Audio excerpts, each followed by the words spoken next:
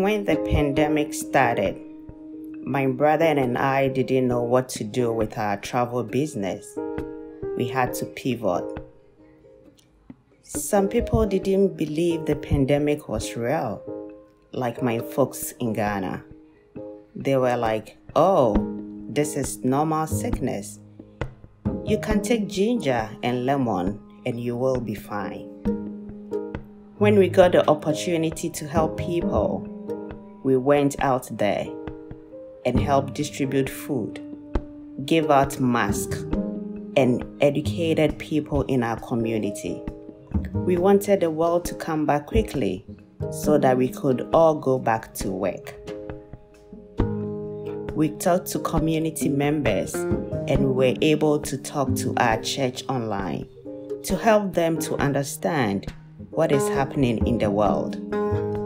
We used our office space with the collaboration of Black Health as a testing site.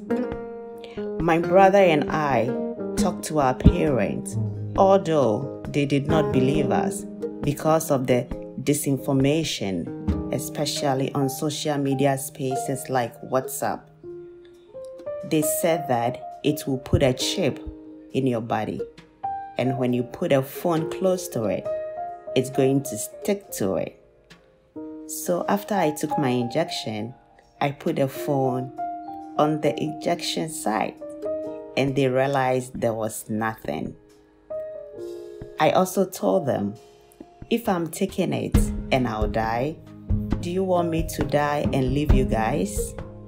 And they did it. They took it before they went back to Ghana. We used our Christ Apostolic Space as a vaccine hub for our community members.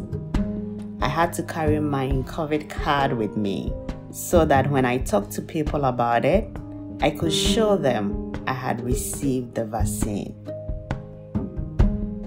We would tell people take care of yourself.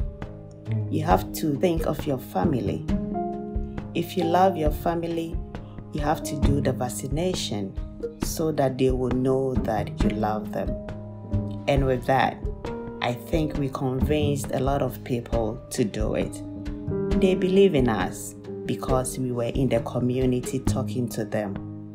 They are connected to us and we are part of them.